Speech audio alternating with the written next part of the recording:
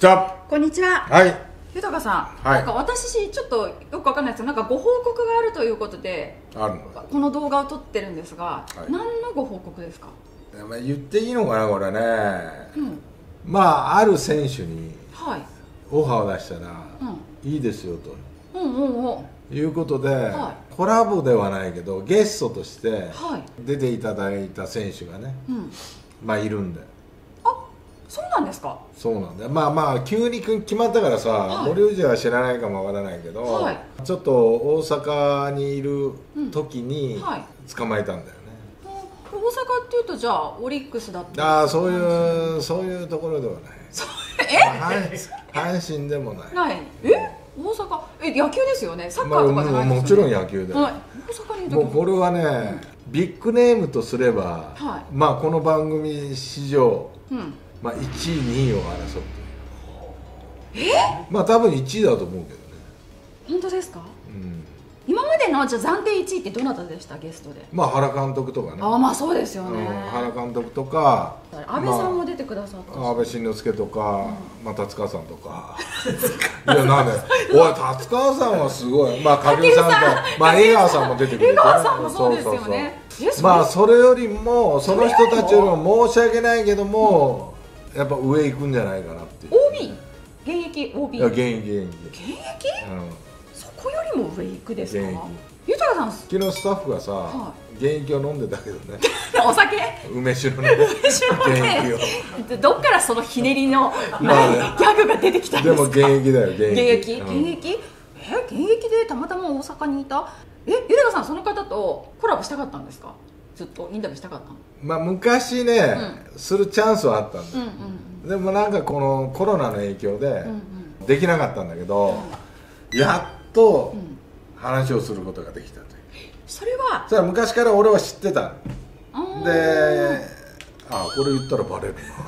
いやまあだけどインタビューとかしててね、で会う機会がなくてコロナとかで、でまあ機会があって、そういうチャンスを得たんだけどえいきなりオファーしたんですか？いきなりねスタッフがね、連絡してみましょうって言って連絡したら、もうぜひという答えが返ってくれて二つ返事でもう本当にね義理堅いやつなのよ。だから昔のことも覚えてて、まああの時はこうでしたねって言って時間がかかりましたけどみたいな。もうぜひぜひなんかこう出たいという。え出ていいですよみたいな。ヒントとして？だから森藤もなんかちょっとかぶってる感じのえ？かぶってる昔な。ちょっとよーしみたいな。よしみたいな？あ豊さんはあ行くぞーみたいな。クソみたいな。そんえ？どんなノリ？ちょっと待って豊さんはその選手に何を聞きたかったんですか？ヒント。いやだから世界一になるためにっていうようなそんな話だよね。世界一？そうそうそうそう、日本一世じゃないんですね。界いや世界一でしょ。いや俺はもう認めてるけどね、でも実際もう話を聞いてきて、いやある部分では世界一っていうのは彼も認めてでもこの部分はまだなってませんみたいな。えー、えまあそういうまあでも本当にかっこいいよ、身長高いですか？うん、そら高い。豊さんより？俺より高いやつがほとんどだから いやいや。顔は？顔は俺より小さいよ身長高くて。身長高くて。顔ちっちゃい。ちっちゃい。イケメン？え？イケメンですか？めちゃイケメンだな。これはやっぱり見つめられて「I love you」って言ったらコロンと落ちるね。いやいや本当に。あほんそうまあそのぐらいの選手だ。選手、え？右打ち？左打ち？まあ両方打てるっていうふうには書いてたな。スイッチ？スイッチスイッチ、うん。えバッター？ピッチャー？ピッチャーだよ世界一？世界一ね。なんとなく。わかる。あー思いなんとなくだんだんあ。記憶が読むよし行こうって。なあれ2回キャンセルしたからね。そうです飛よ行機を。ね。ああん？豊さんに？サッカーのことを質問されていた？ん？どういうことですか？いや子育てっていう意味で、えいやその先方が？うんえ？ちょっと時間ください。ちょっと豊さん一つ質問してもいいですかって言うから。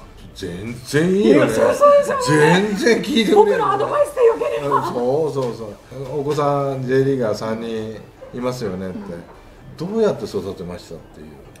いや彼もやっぱ子育てをしながら、はい。い、ろんなものを感じ取りながらね参考になることがあればと思っての質問だったと思うんだけども、えーあまあ、そういう話とかあのその方の息子さんが野球でピッチャーかな？なんか練習してる姿をその方が後ろから見てる。私なんかショート動画見ました。ああそうそう。それか。そうえあれねー、、うん、教えてないらしいんだよ。えそうなんですいかきなりあの投げ方をしたからそう。ああもう割と素質はあるのかなっていうふうに思ったっていう。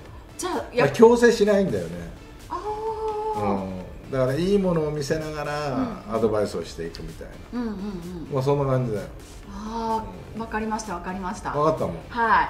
まあ皆さん分かってるかもうな多分分かったと思いますよ。あのこのチャンネルの最初からまず見てる方はよし行くぞで行けなかったっていうところで まあそうだな。まずそこの最初の？もうやらないんですかみたいな。最初のうちはあれしてたけどコメント来てなんてか行く行く詐欺になってた。からそう行く行く詐欺って言われててまあね我々。あの見せる見せる詐欺だそでも今回はしっかり見せますかすごい！らいやねそれも明日から。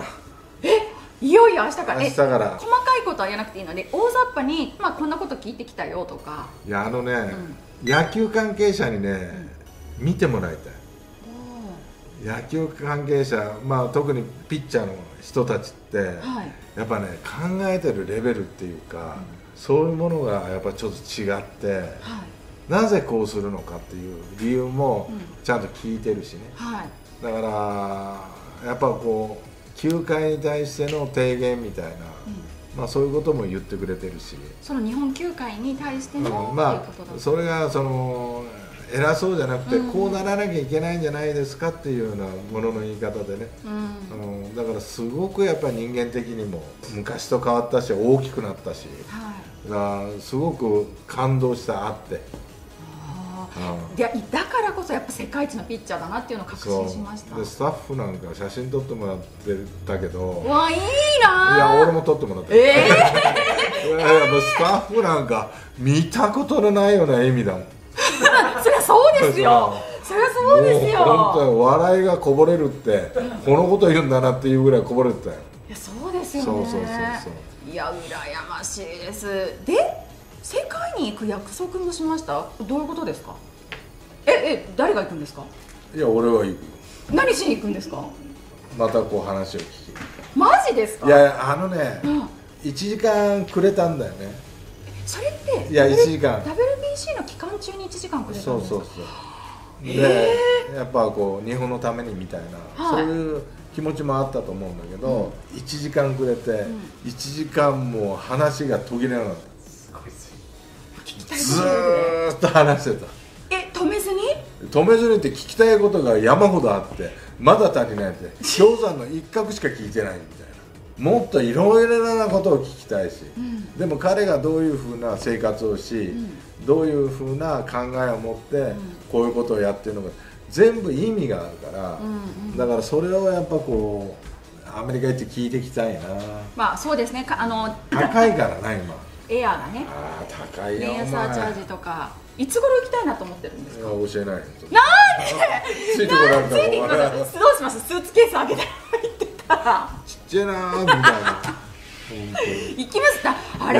行きたかったのでいやだけどやっぱね話をしててあっという間の1時間だったしですよねあのやっぱ話をしてて感動したな、うん、その言葉一つ一つに。うんうん。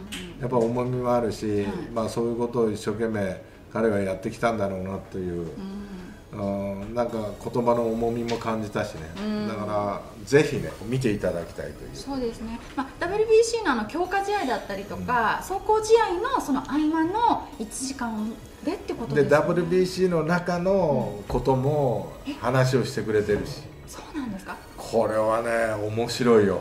めちゃ見たいよ。これはね本当面白いと思ったのははい。あこの人はよく見てるなと思うよ。それ野球を見てるんですか？それとも日本人例えば選手だったりとかのことを見てるんですか？両方ですか？いや選手のことをもうこと細かに見てるよ。でその見てる中からすごく感じ取ってるよ。すうんだからもう少しこうした方がいいのになとか、ごいうんうんうん。まあちょっと教えてあげるけど、大谷のあの膝をついてのホームランうん。うんみんなは驚いただろうけど、うん僕は驚きませんでしたと。うんえ驚かないの？って言ったら、いや彼の裏でやってることを知ってるからあれは当然に見えたっていうやっぱねレベルが違うんだよ。世界一の二人は違う。違うんだよ。俺らなんかもうひっくり返ってこんなうんサムネでさ出てるけどもう恥ずかしいぐらいだって。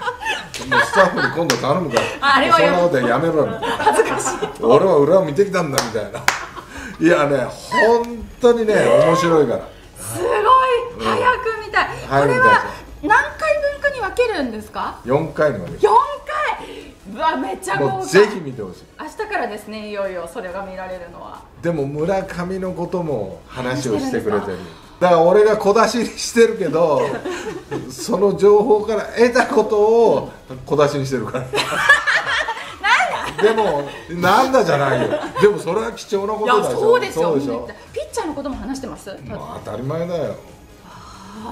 でもね彼はね本当にね否定をしない。うん。